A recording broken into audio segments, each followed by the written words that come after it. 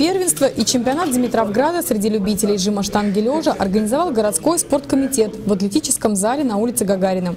У этих юношей и мужчин, которые занимаются силовым спортом, это были первые соревнования в уходящем году. Юноши до 18 поднимали штангу весом 55 килограммов, мужчины – 75.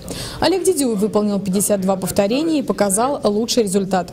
На тренировке примерно так же и делаю. Ну и рассчитывал на это же.